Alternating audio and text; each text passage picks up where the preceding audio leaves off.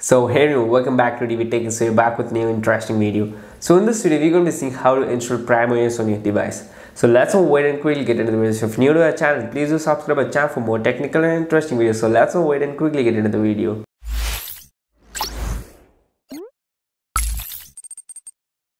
So as I told you in the intro, we're going to be installing Prime OS in this video. So all you need to do is follow my steps one by one. So this OS is very simple to install and it's also very simple to use and this is not complicated. So let's not waste the time and quickly start how to do it. So the first thing you need to do to install Prime OS on your PC is open Google Chrome and type Prime OS. So you could find the first official website of the Prime OS. Just enter that and you can see four different tabs that is classic, standard, mainline and help. So I prefer you to go with the classic one. So because it has got highest rate of downloading. So let us click on the ISO image. So if you want Windows installer directly, if you want to install that, you could click on the Windows installer. So I'll open the ISO. So here you could sign the tab called click to start your download. So let me tap on it. So the file size is 879 MB and also it has got 750k plus downloads. So as I told you before, it has got highest rate of downloads. So and also this is the latest version uploaded by the Prime OS. So this is by the team Prime OS. So now let us click on the primary download. So as you can see your download is started. So here's the download. So but before that how to burn this? So you could burn this using the Rufus. So open a new tab and type Rufus. So here it goes. So this is the official website of Rufus. Scroll down and you could find the download link. So once you click it, your download is started. So after that, I'll teach you what to do. So let us wait for your download. So you need to have patience. So let me open the download. You could see the Rufus is downloaded and the Prime OS is getting downloaded. So here it goes. So as you can see the file is downloaded. Let me click on show in folder. So for better understanding, let me paste the two files in desktop. So let me minimize this. So here it goes. So these are the two files required to install Prime OS. So first thing you need to do is open Rufus.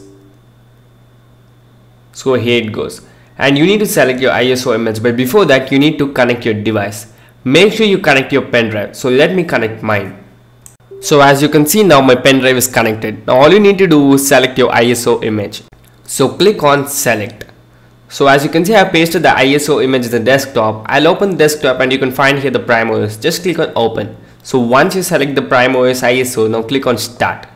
So that's it. Half of your work is done. So just click on OK. OK and then proceed. So it takes some 5 to 10 minutes. You really need to have some patience. So once after this is done, you need to eject your pen drive and let's see how to boot it.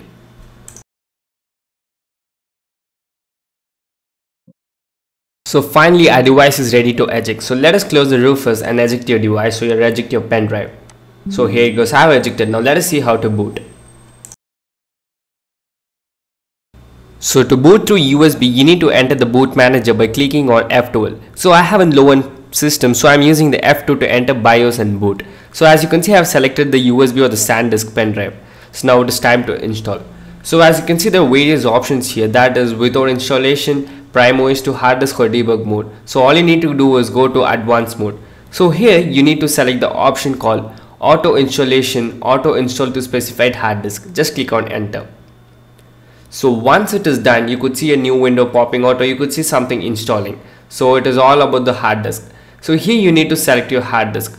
So once you select your hard disk, you need to click on yes if you want to install and all your data will be erased. So as you can see the Prime OS is getting installed in the hard disk. So once this is done, half of your work is done.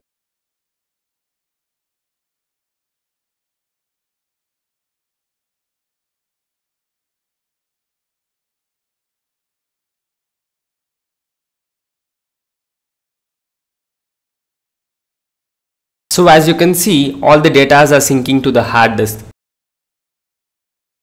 So here you need to click on run Prime OS. So once you click on run Prime OS, your work is done. So you could see the startup of the Prime OS.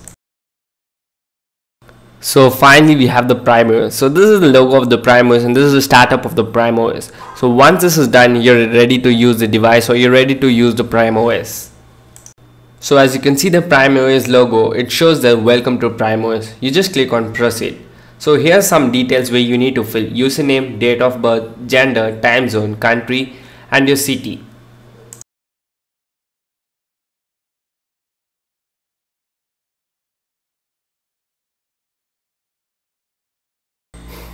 So as you can see now the Prime OS is finally activated. So hi welcome to Prime OS experience your Android on your PC. Looks very cool right? So this is the Prime OS. So it is very simple to install it on your PC. So as you can see getting ready and let us start. So here's the Prime OS.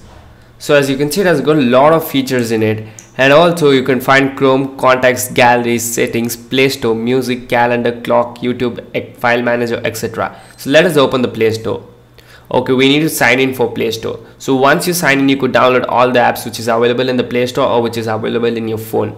So let us close this. And next thing there's so many features. Let us open the settings. So as you can find that i'm going to open settings there are so many features. So let me open.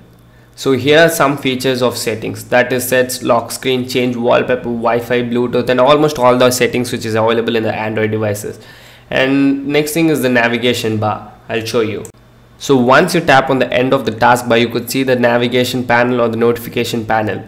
So here it goes. As you can see when the uh, device or the pen drive is connected for installing the Prime OS, it is detected even the USB is detected. So you could use it freely. So this is all about the Prime OS. So I hope you all got know how to install PrimeOS on your device. So if you have any doubt in installing, please do comment or shoot out the questions in the comment section. I'll try to resolve your problems. And if this video was helpful, please give the video a thumbs up, hit the like and subscribe button, suggest us what in the next video. Until then, stay to the Vishwas from DV Techies.